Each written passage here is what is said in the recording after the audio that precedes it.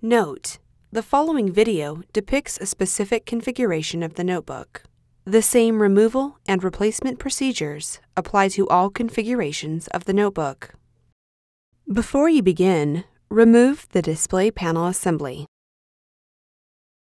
Removal Remove the three 3mm P1 Phillips head screws that secure the audio board to the display enclosure. Remove the audio board bracket from the alignment pins on the audio board.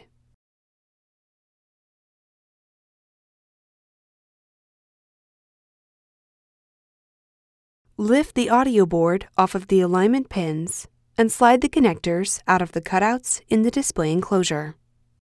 On the bottom of the audio board, use minimal force to lift the locking bar up on the volume button board ZIF connector and disconnect the volume button board ribbon cable from the audio board.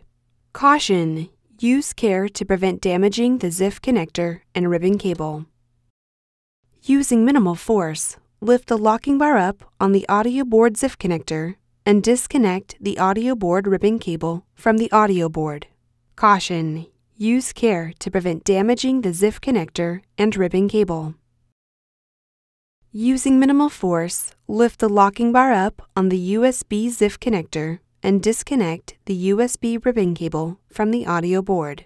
Caution! Use care to prevent damaging the ZIF connector and ribbon cable. Place the audio board in a static dissipative bag. Replacement Remove the audio board from the static dissipative bag. On the bottom of the audio board, insert the USB ribbon cable into the USB ZIF connector on the audio board and press the locking bar down to lock the cable into place. Caution! Use care to prevent damaging the ZIF connector and ribbon cable.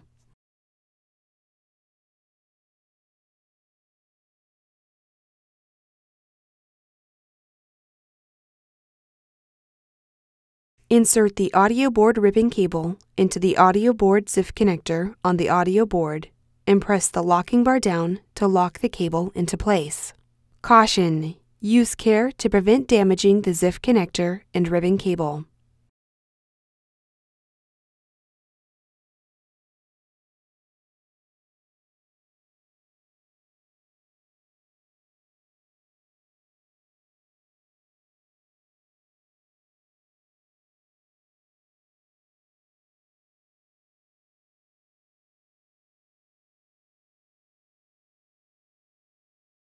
Insert the volume button board ribbon cable into the volume button board ZIF connector on the audio board and press the locking bar down to lock the cable into place. Caution! Use care to prevent damaging the ZIF connector and ribbon cable.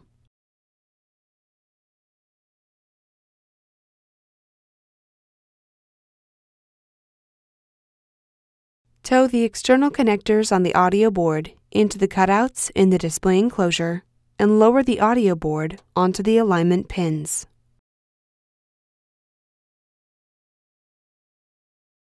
Place the audio board bracket onto the alignment pins on the audio board.